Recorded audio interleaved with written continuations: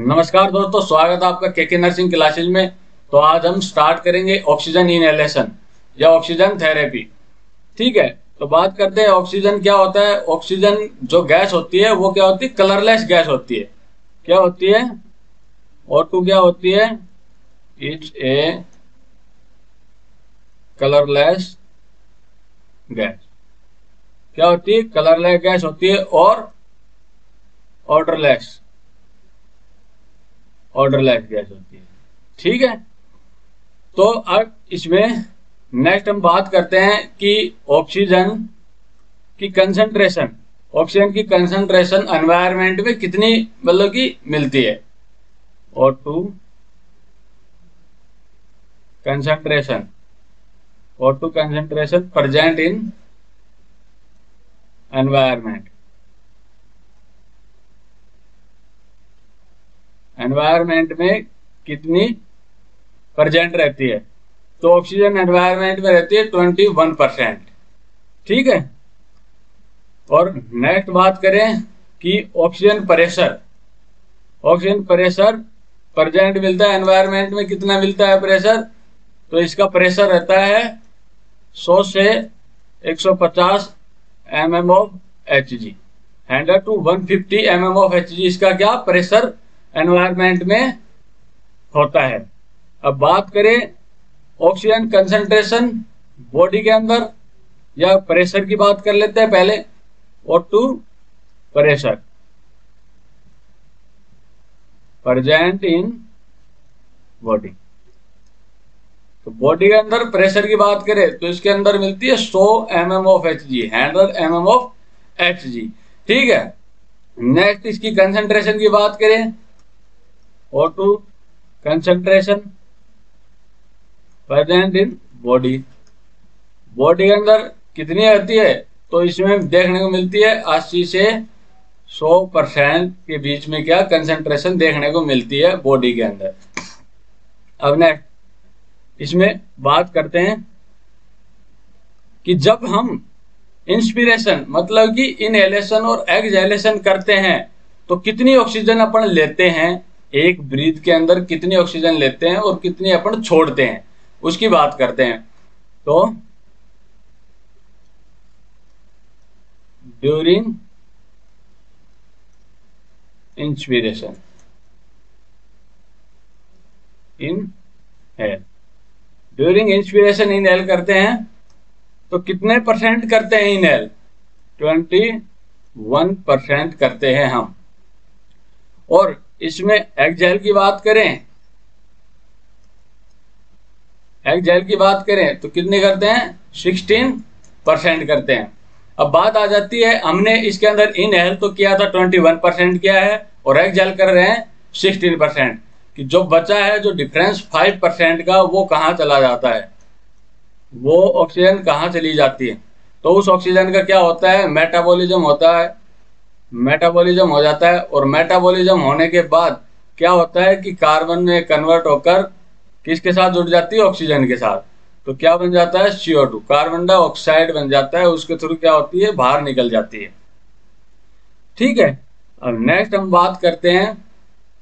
एक इंपॉर्टेंट बात कर लेते हैं पहले कि जब हम ऑक्सीजन देते हैं किसी को तो ऑक्सीजन हमेशा क्या करते हैं? ह्यूमिडिफाई से देते हैं। मतलब कि मॉइस्चर टाइप में ऑक्सीजन जानी चाहिए। उसका कारण ये रहता है कि किसको प्रिवेंट करने के लिए करते हैं हम? म्यूकस मेम्ब्रेन को प्रिवेंट करने के लिए या इरिटेशन से बचाने के लिए। पेशेंट को अगर मतलब कि ड्राई ऑक्सीजन जाएगी तो क्या होगा? उससे इरिटेट होंगे और क्या होगा? म्यूकस मेम्ब्रेन डैमेज होने के चांसेस रहते हैं। तो इंपॉर्टेंट पॉइंट है इसमें। ह्यूमिडिफिकेशन ह्यूमिडिफाई वाटर सॉरी इसका करते हैं हम ऑक्सीजन ऑलवेज गिव ह्यूमिडिफाइड ठीक है? ह्यूमिडिफाइड ऑक्सीजन देंगे हम, क्योंकि के किसके लिए? Prevent mucous membrane mucous membrane को बचाने के लिए और प्रिवेंट इरिटेशन इरिटेशन के लिए। इसलिए हम क्या करेंगे, ऑक्सीजन को हम देंगे। मतलब कि ह्यूमिडिफाई ऑक्सीजन हम देंगे। नेक्स्ट बात करते हैं, दूसरी गैस की CO2 की। CO2 कार्बन डाइऑक्साइड की बात करते हैं। तो कार्बन डाइऑक्साइड की अगर बात करते हैं प्रजेंट एनवायरमेंट में कितनी मिलती है?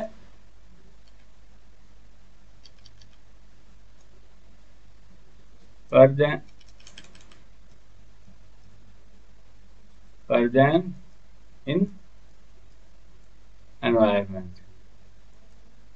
एनवायरमेंट में अगर CO2 की बात करें तो CO2 मिलती है एनवायरमेंट में 0.03 परसेंट ठीक है? और नेक्स्ट हम बात करें इसकी कि एक्जेल करते हैं। एक्जेल इन रेस्पिरेशन तो कितनी एक्सेल कितनी बाहर निकालते हैं हमने? तो हमने वो पहले भी देखा कि इसमें फाइव परसेंट हम क्या करते हैं? बाहर निकालते हैं। जो हमने बताया जो फाइव परसेंट रह जाता है, वो एक्सेल से हम क्या करते हैं? सीओ टू को बाहर निकालते हैं। अब इनकी इंडिकेशंस की बात कर लेते हैं।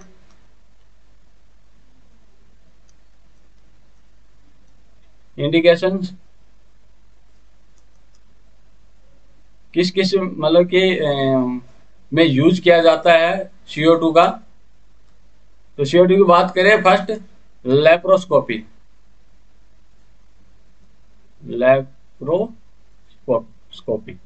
लेप्रोस्कोपी में किया जाता है, कोई एग्जामिनेशन किया जाए डायग्नोसिस पर्पज के लिए तो उसके लिए हम क्या करते हैं? CO2 का यूज़ करते हैं। CO2 को क्या करते हैं? इन्फ्लेट करते हैं। इन्फ्लेट करते हैं, अंदर डालते हैं कहाँ पर? Abdominal abdominal cavity abdominal cavity हम क्या करते हैं? उसको डालते हैं। इसका डालने का कारण क्या रहता है कि जिसका हम एग्जामिनेशन कर रहे हैं लेप्रोस्कोपी एग्जामिनेशन कर रहे हैं तो ये गैस क्या होती है? विजुअलाइज गैस होती है। यह क्या होती है? क्लियर विजुअलाइज गैस होती है। क्लियर विजुअलाइज गैस होती है, ठीक है?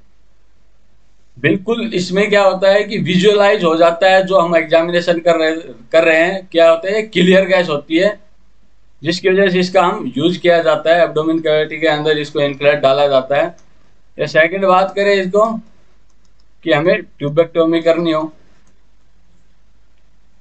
ठीक है ट्यूबेक्टोमी करनी हो। नेक्स्ट हम बात करें इसकी। लेप्रोस्कोपी या सर्जरी करनी हो। ठीक है। लेप्रोस्कोपिक सर्जरी करनी हो। ट्यूबेक्टोमी हो गया। और नेक्स्ट हम बात करें इसकी कि क्रायो सर्जरी करनी हो। उसके दौरान भी क्या करते हैं हम? इसका यूज़ करते हैं क्रायो सर्जरी तो क्रायो सर्जरी में सबसे फ़र्स्ट जो प्रायोरिटी हम देंगे, कौन सी गैस को देंगे? एंटीओ नाइट्रोक्स ऑक्साइड को। ठीक है? ये हमारी रहेगी फ़र्स्ट प्रायोरिटी रहेगी। ठीक है? क्रायो सर्जरी के अंदर। और सेकंड हमारी क्या रहेगी? सीओ टू ठीक है? ये हो गया हमारे इंडिकेशंस की बात हो गई। और नेक्स्ट हम बात करें कि जो हमने क्या किया है? इन्फ्लेट की है। जो हमने सीओ टू अंदर डाली है शरीर के एग्जामिनेशन करने के लिए, उसको हम बाहर कैसे निकालेंगे? सीओ टू सीओ टू एडमिस्ट एडमिस्ट कहाँ की है? उसको क्या करेंगे? एक्सकैप करेंगे। एक्सकैप करेंगे मतलब कि बाहर निकालेंगे। तो वो कैसे निकालेंगे? क्या नर्सिंग प्रायोरिटी रहेगी इसके अंदर? जो नर्सिंग ऑफिसर है, उसकी क्या प्रायोरिटी रहेगी? क्या करेगा वो? फ़र्स्ट फ़र्स्ट एक्शन क्या रहेगा उसका? तो फ़र्स्ट अगर बात करें तो हम क्या करेंगे?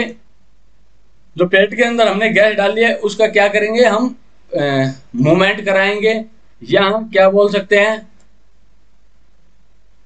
एम्बुलेट कराएँगे। एम्बुलेट पेशेंट मतलब मूवमेंट करवा सकते हैं। अगर तब भी गैस बाहर नहीं निकलती है तो सेकंड रहेगा हम मसाज करवाएँगे। Massage to abdomen. ठीक है? अगर तब भी गैस बाहर नहीं निकलती है तो थर्ड ऑप्शन रहेगा, हम एस्पिरेट करेंगे। किसके द्वारा? बाय द सीरिंज के द्वारा। किसके द्वारा? बाय द सीरिंज के द्वारा एस्पिरेट करेंगे। और फोर्थ अगर तब भी गैस बाहर नहीं निकल रही है तो हम क्या करेंगे? उसको एडमिनिस्ट करेंगे किसको? टू को। टू को एडमिनिस्ट करेंगे हम। अंदर डालेंगे।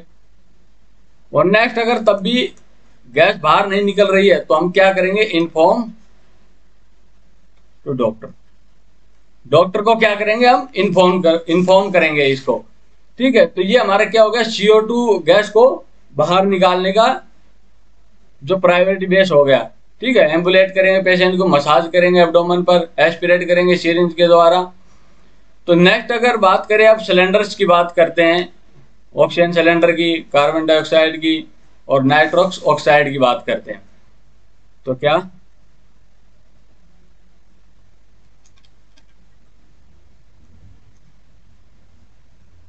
सिलेंडर्स की बात करते हैं तो फ़र्स्ट देखते हैं हम। Auto cylinder.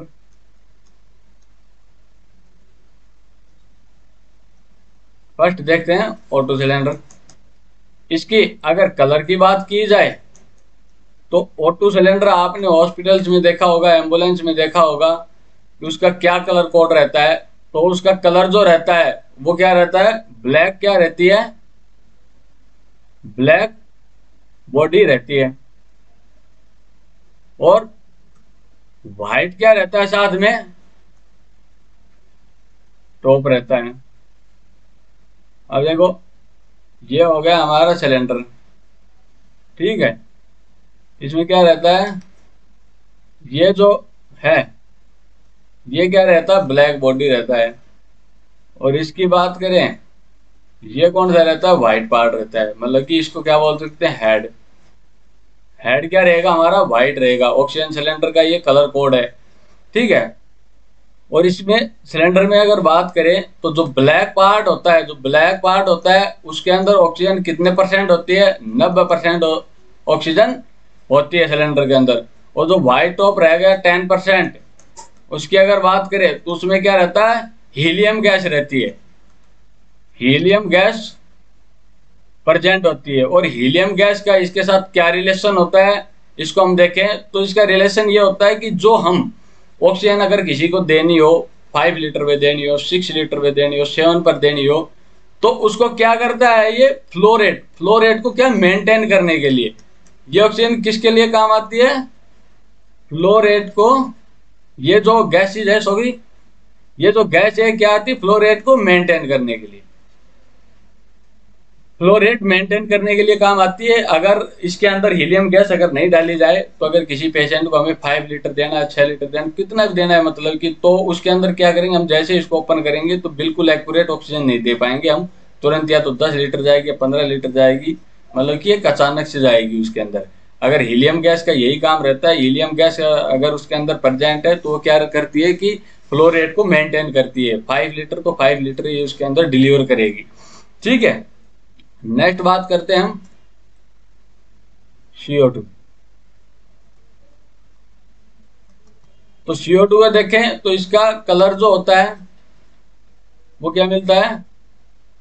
ग्रे कलर का सिलेंडर। ठीक है? ग्रे कलर का सिलेंडर मिलता है। नेक्स्ट हम बात करें नाइट्रो ऑक्साइड की बात करें तो इसका जो कलर मिलता है हमें, वो क्या मिलता है?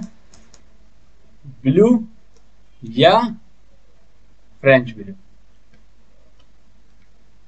ब्लू या फ्रेंच ब्लू कलर हमें क्या देखने को मिलता है? नाइट्रो ऑक्साइड के सिलेंडर में मिलता है। अगर इसकी नाइट्रो ऑक्साइड की दूसरा अगर अदर नेम की बात करें अदर नेम की बात करें तो अदर नेम होता है लाफिंग गैस होता है हंसने वाला। हंसाने वाली गैस होती है लाफिंग गैस बोलते हैं इसको, ठीक है? नेक्स्ट हम बात करते हैं इसके किसकी टेस्ट की बात करते हैं कि हम कौन कौन से टेस्ट करेंगे, जिससे हमें क्या होगा ऑक्सीजन का पता लगा सके कि ऑक्सीजन की कमी कितनी है, कैसे है। तो इसकी हम बात करें तो इसका हम तीन प्रकार से टेस्ट करेंगे। तो फ़र्स्ट बात करते हैं।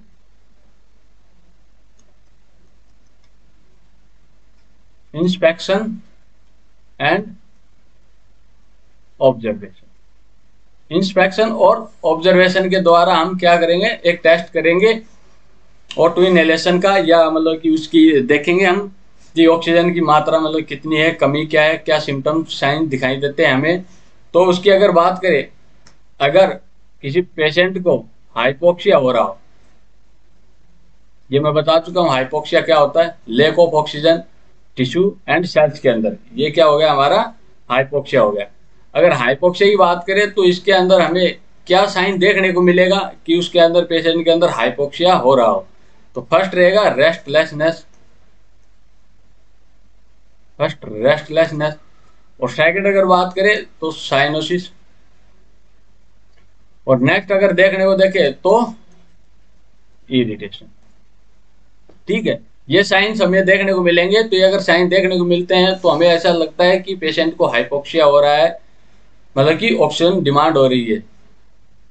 ठीक है? अब इसके अंदर प्रायोरिटी बेस बात करते हैं। कि जब कोई पेशेंट है तो अर्लीस्ट साइन जो हाइपोक्सिया का अर्लीस्ट साइन है, कि ऑक्सीजन की डिमांड हो रही है, उसका अर्ली साइन क्या रहेगा?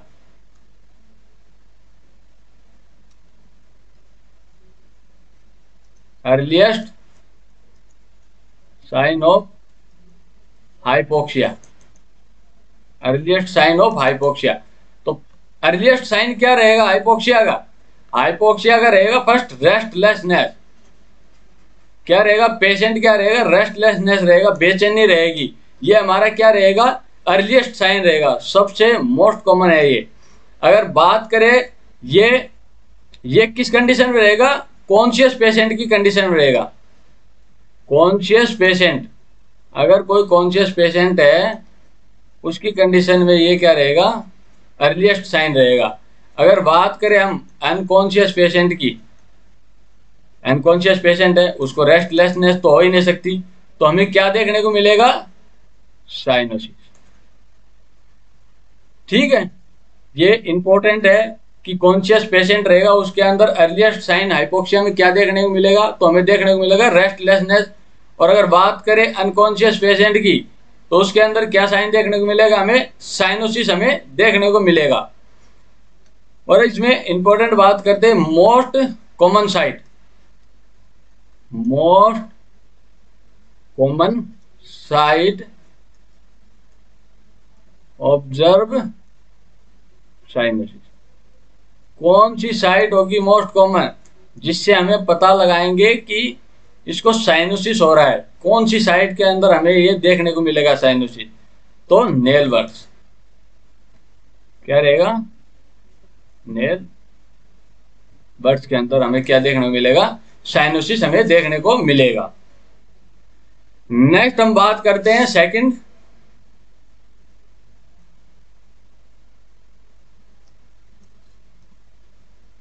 non invasive procedure non invasive procedure क्या होता है?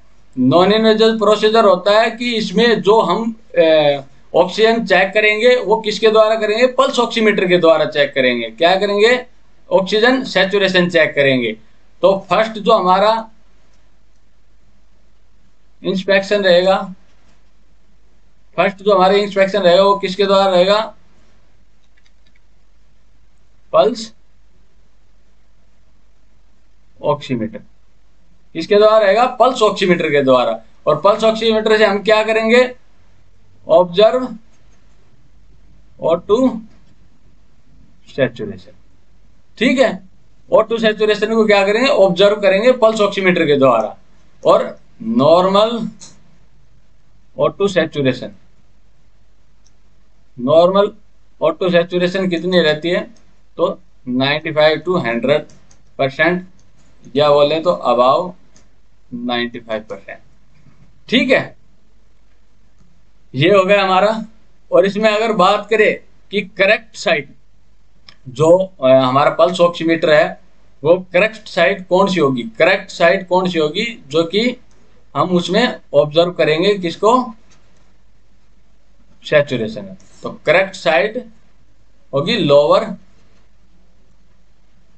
lobe of ear ear की जो लोअर लोब होगी, वहाँ पर हम पल्स ऑक्सीमीटर लगाएँगे, वो हमारी क्या रहेगी? करेक्ट साइड रहेगी। और बात करें कॉमन साइड की, जो कि हम हॉस्पिटल्स में यूज़ करते हैं। कॉमन साइड की बात करें तो क्या रहेगी? इंडेक्स फिंगर क्या रहेगी? इंडेक्स फिंगर जो हम क्या करते हैं? कॉमन साइड रहती। जो हम हॉस्पिटल्स में यूज़ करते हैं। इसी में अगर बात करें, जो हमने पल्स ऑक्सीमीटर जो क्या इंडेक्स फिंगर में लगाया है, अगर उसकी चेंज चेंज करने की ड्यूरेशन देखे टाइम देखे उसका तो कितना टाइम रहेगा उसको क्या पल्स ऑक्सीमीटर को चेंज करने का? तो चेंज पल्स ऑक्सीमीटर ड्यूरेशन तो उसका रहेगा एवरी टू आवर हर दो घंटे में क्या करेंगे, हम पल्स ऑक्सीमीटर को चेंज करेंगे। अलग उंगली के अंदर लगाया जाएगा, अलग फिंगर के अंदर लगाया जाएगा। वो क्यों लगाया जाएगा? प्रिवेंट अल्सर्स अल्सर्स होने से बचाने के लिए क्या करेंगे हम? उसको चेंजेस करेंगे उसका। नेक्स्ट हम थर्ड बात करते हैं। जो थर्ड हमारा टेस्ट हो रहा है, वो क्या हो रहा है? सेकंड हमने नॉन इन्वेजिव देखा और ये देख रखे invasive invasive method invasive method important है ये। इन्वेजिव मेथड में क्या होगा? ये क्या होता है इसके अंदर? ये एक्यूरेट इसके अंदर क्या रहता है? एक्यूरेट मेथड होता है ये। क्या रहता है? एक्यूरेट मेथड है। क्या है ये? एक्यूरेट मेथड है किसके लिए? For हसस O two in blood accurate method है किसके लिए? असेस करने के लिए ऑक्सीजन किसके अंदर? ब्लड के अंदर. ऑक्सीजन कितने परसेंट है? किसके अंदर? ब्लड के अंदर कितनी ऑक्सीजन है? उसको असेस करने के लिए क्या है? Invasive method most accurate method है अब इसी में बात करें, इसमें क्या होता है? एबीजी आपने सुना होगा. एबीजी किया जाता है, इसका सैंपल लिया जाता है, आर्टीरियल सैंपल लिया जाता है, जिसके द्वारा क्या होता है एबीजी एनालाइज किया जाता है, उसके अंदर हमें सेचुरेशन देखने को मिलती है, इसीलिए इसको क्या बोलते हैं मोस्ट एक्यूरेट मेथड हो गया। तो हमने क्या किया एबीजी एबीजी क्या होगा? आर्टीरियल, ब्लड, गैस एनालाइज ठीक है? Blood gas blood gas analyse ये होगा हमारा। अगर इसमें हम बात करते हैं किसकी, इसमें क्या होता है? प्रिक करेंगे हम। जैसे ही प्रिक कहाँ से करेंगे? Most common most common side क्या? मोस्ट कॉमन साइड किसकी? प्रिक करने। तो मोस्ट साइड हम कहाँ से करते हैं? तो वो करते हैं radial radial artery radial artery को हमने प्रिक किया। ठीक है? उससे पहले रेडियल आर्टरी को आपको कृष्ण सरो ने पढ़ाया होगा एवीजी एनालिसिस के अंदर। तो हम रेडियल आर्टरी को अगर प्रिक करेंगे, उससे पहले क्या चेक करेंगे? बिफोर बिफोर रेडियल आर्टरी से अगर प्रिक कर रहे हैं, उससे पहले हम क्या करेंगे? हम उससे पहले करेंगे। अल्नर आर्टरी होती है जस्ट उसके अपोजिट साइड क्या करेंगे?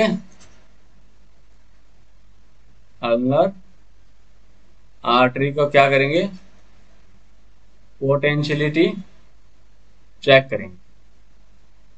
पोटेंशियलिटी चेक करेंगे और उसमें इस टेस्ट को क्या करते हैं? जो अल्नर आर्टरी पोटेंशियलिटी चेक करते हैं, उस टेस्ट को हम क्या बोलते हैं? एल टेस्ट बोलते हैं। एल टेस्ट बोलते हैं। यह आपको कृष्ण सरो ने पढ़ा दिया है एल टेस्ट वीडियो में जाकर देखना क्या होता है एल टेस्ट ठीक है? तो ये हम क्या करते हैं, इसके इन्वेजिव मेथड होता है, जिसके अंदर हम क्या कर रहे हैं कि AVG arterial blood gas analysis में क्या कर रहे हैं हम? कि O2 सेचुरेशन चेक कर रहे हैं, किसके अंदर? ब्लड के अंदर कर रहे हैं। ठीक है?